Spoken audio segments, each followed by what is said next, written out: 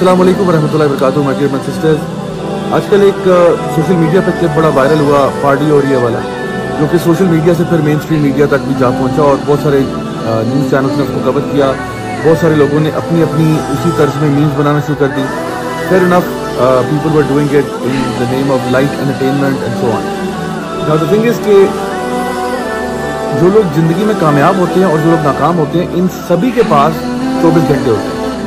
और कामयाब लोग जो है वो इन चौबीस घंटों को बहुत अच्छे तरीके से इस्तेमाल करते हैं, बहुत प्रोडक्टिवली इस्तेमाल करते हैं और जो लोग नाकाम होते हैं वो अपने टाइम को अच्छी तरह यूज़ नहीं करते और फजूल चीज़ों में टाइम ज़ाया करते हैं। अल्लाह ताला भी कुरान मजीद में सूरह मोमिनून में साथ फरमाते हैं, कद अफलहलमोमिनून कि कामयाब हो गए ईमान वाले और साथ ही फरमाते हैं कि,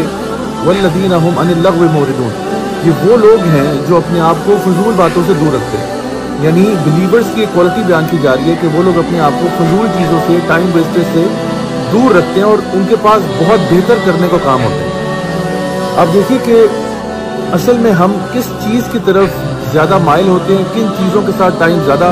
स्पेंड करते हैं। क्या वो चीज़ें ऐसी हैं जो हमारे दुनिया के या आखिरत के फ़ायदे की होती हैं? या वो ऐसी चीज़ें जो बिल्कुल यूजलेस हैं, जिनका हमारी ना तो दुनिया में कोई फ़ायदा है, ना आखिरत में कोई फ़ायदा है। मसलन, फजूल के कमेंट्स करते रहना, दूसरों की पोस्टों पर जाके, फजूल की चीज़ों में इन्वॉल्व होना मतलब एंटरटेन करना अपने आप को थोड़े टाइम के लिए just so that you can get back to your actual task ये बुरी चीज़ नहीं है, लेकिन अपने आप को कॉन्स्टेंटली एंटरटेन करना और फजूल में बस एक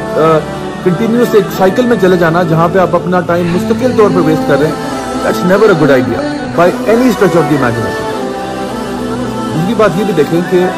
वो क्या चीज़ें हैं जिनको हम शेयर करके वायरल करते हैं। क्या हम अपने जो दुनिया भर में मुसलमान हैं, जो कि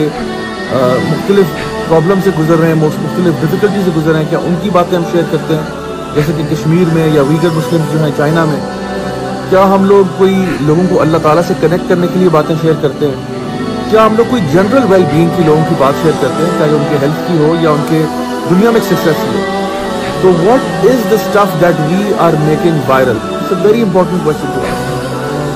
नबी करीम सल्लल्लाहु अलैहि वसल्लम की हदीस है सही बुखारी की, जहाँ पे आपने फरमाया कि जो भी अल्लाह और रोज़े क़्यामत पर ईमान लाता है, उसको चाहिए कि वो सच्ची और सही बात करे, वरना अपना मुँह बंद रखे। तो वाकई में ये हमारे लिए एक बहुत बड़ी हैसियत है नबी करीम सल्लल्लाहु अलैहि वसल्लम की तरफ़ से, कि जहाँ पे हमें कोशिश पूरी करनी चाहिए कि हम अपने टाइम को बेस्ट तरीके से यूटिलाइज करें। आखिर में इब्न कयम रहीमुल्लाह का मैं एक कोट आपके सामने रखता हूँ, जहाँ पर उन्होंने फरमाया कि wasting time is worse than death because death separates you from the life of this world wasting time separates you from Allah सुबहाना ताला यानी जो टाइम वेस्टिंग है वो मौत से भी ज़्यादा बदतर चीज़ है, क्योंकि मौत तो सिर्फ़ आपको दुनिया से जुदा करती है, लेकिन टाइम ज़ाया करना जो है आपको अपने रब से जुदा कर देता है। आई होप कि इस बात से आपको फ़ायदा हुआ होगा। अंटिल नेक्स्ट टाइम किसी भी राजा से अलग साइनिंग ऑफ़ असल वरहमल वर्क